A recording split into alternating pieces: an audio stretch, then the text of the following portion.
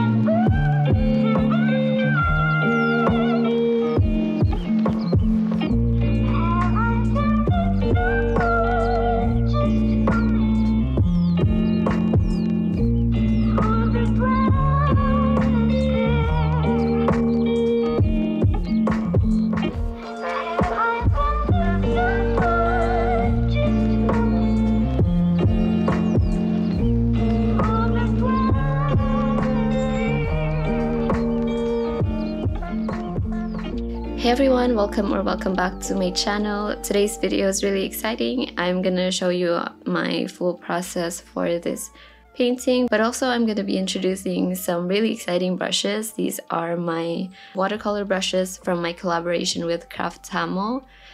And for this also, I'm going to be painting this amazing photo of Lilly Harvent. Some of you guys may recognize her. I've done one painting of her before and that one turned out to be one of my favorite watercolor pieces. So if you guys want to see more of her amazing photos, I will be linking her Instagram and her YouTube channel up in the description. And also if you guys are interested in seeing some real-time walkthroughs of my videos, they are up in my Patreon and again the link to that will be in the description as well. For this painting, this took a lot of planning for me to do and the very first thing that I did for it was applying my masking fluid. Basically, this lets me preserve some of the color of the paper even when I paint over it. So if you guys haven't tried it, this honestly feels a lot like glue, except it doesn't damage the paper and it's easy to lift. It's a great tool for watercolors and I find myself using it a lot to get these interesting effects with my paintings. But as I'm applying that, I'm going to talk a little bit about my brushes. If you guys don't know about Craftamo, they are an art company that is most well known for their cruelty-free brushes.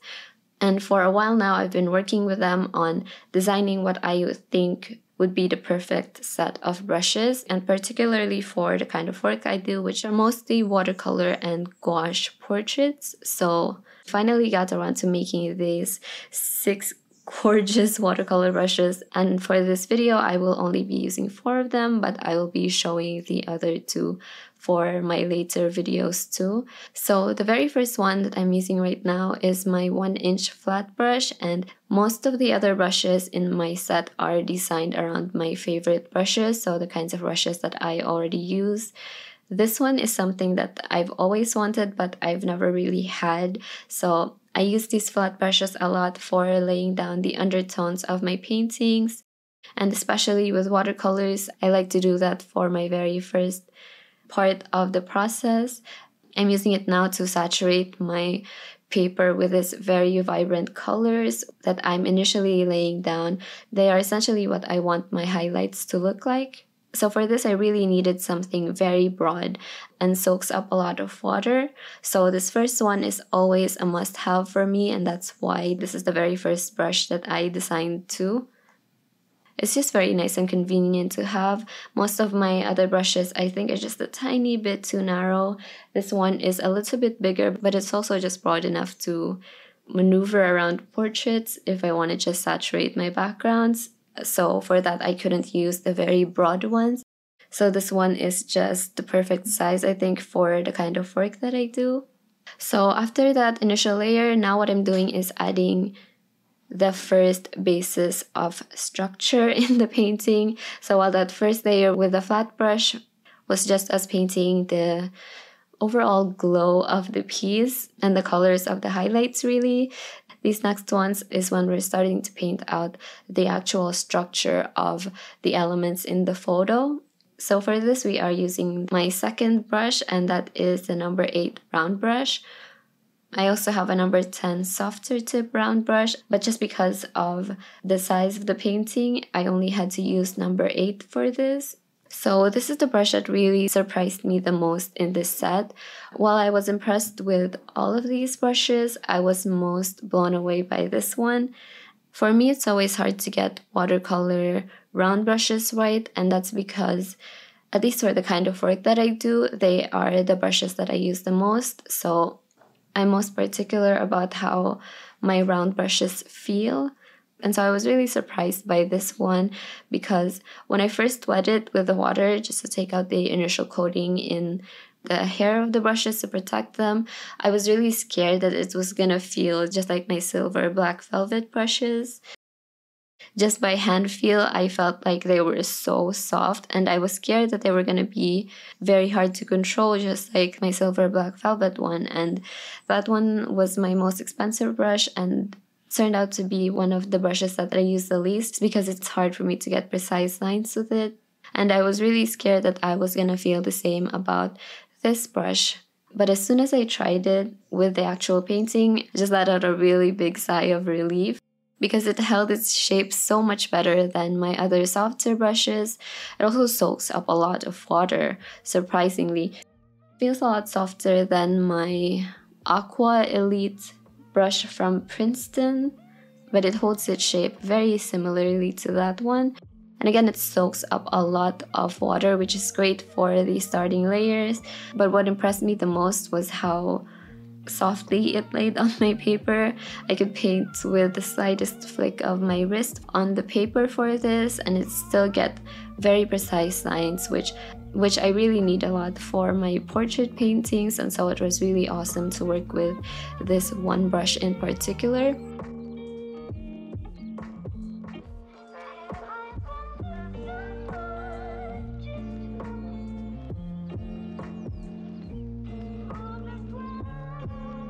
I actually liked this brush so much that I used it for so much longer than I intended.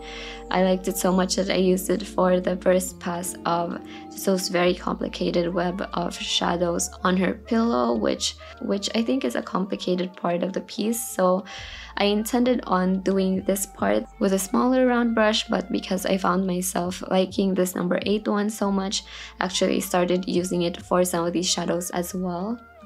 I don't know if you guys are aware of how small this painting is for the amount of detail that's on it. So that's why for my paintings, when I go further down the piece, I would not be using a number 8 size brush so much, but it's a testament to how much of a joy it was to paint this brush and also how easy it was to control that I ended up using it for a lot more than I intended.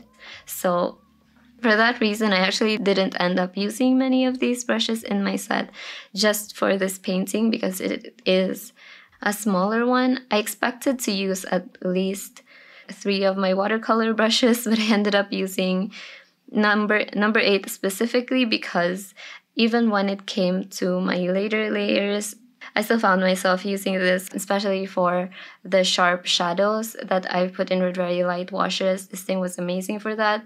And I even used it for painting in some very sharp and small details in her hair, which I already expected to switch to my number four brush by then, but I ended up just enjoying this one so much for it I added in another layer of masking fluid and this time for just for the hair strands mostly. So I will have some more colorful highlights as well as the ones that I used for the first one which is essentially just the whites of the paper.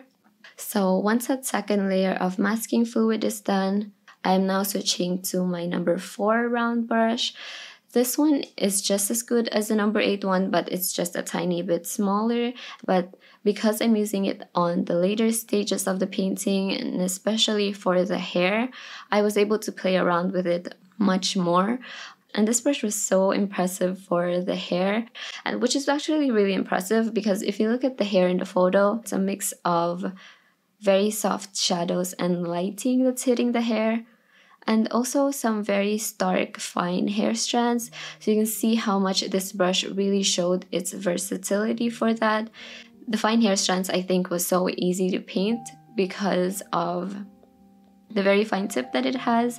And also, it was also very pliant when you put just the tiniest amount of pressure on it so that the rest of the brush body is on the paper and you can see how beautifully it does that for the softer shadows too. This was one of my favorite parts to paint throughout the whole process just because of the brush, but also because of how amazing this part of the photo is. And it's really satisfying to finally see it be fleshed out as a painting.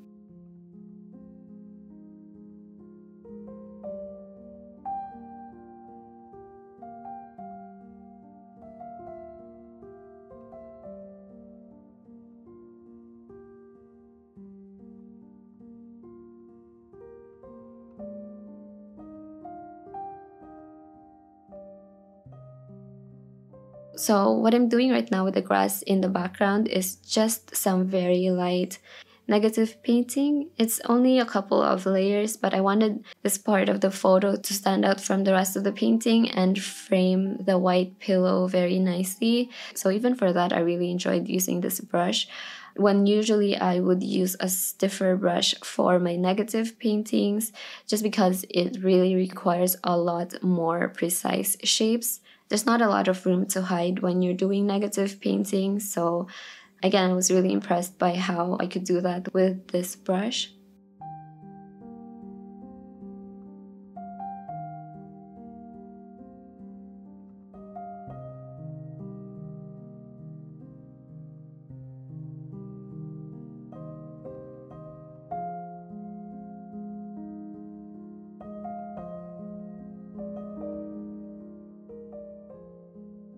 So for the very last brush that I used for this painting, I'm very proud to introduce my favorite brush of the whole set. This one is the number two round detail brush. I was particular about this brush because I always find myself using it for the final details in my portraits and I always say that it's the most important part of the paintings for me because re- really pulls the paintings together.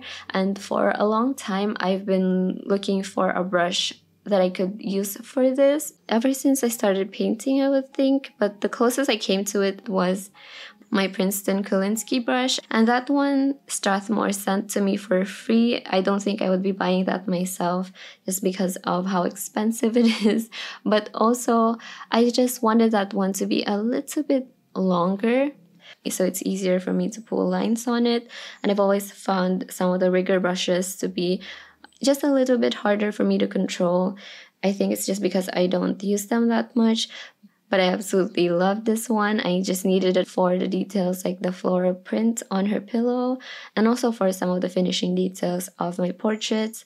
This brush is my favorite in the whole set and again, it's so nice to see a brush that I've always dreamed about for so long and to finally see it fleshed out and to get to use it into the real thing. It's like, it was almost like a dream come true.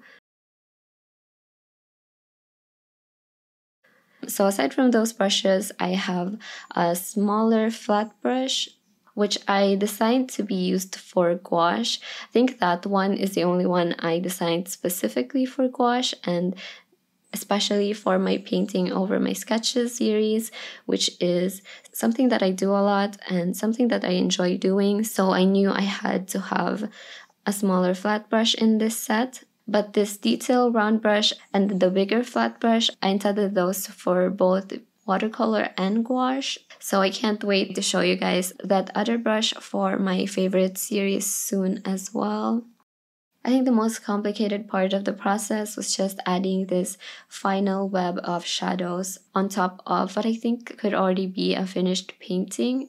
So for this, it looks kind of easy and it did go by in just one pass, but actually there are a lot of different consistencies in the paint for this.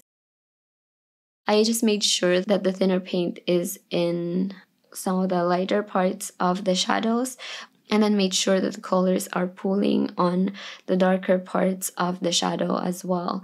So it was really cool to finally see the painting finally start to mimic the amazing photo that Lilly took and to finally see this painting that I've been wanting to do for a while finally come together and get done. You can also see it more after the masking fluid comes off and and the detail brush comes in again to finally finish the piece. It's just an exciting moment to see and especially with these brushes that I've been waiting on for so long. But yeah, that is it for this one. Again, all of the links that I mentioned are in the description. Thank you guys for watching. Thank you to my patrons for supporting me and I will be seeing you guys again soon.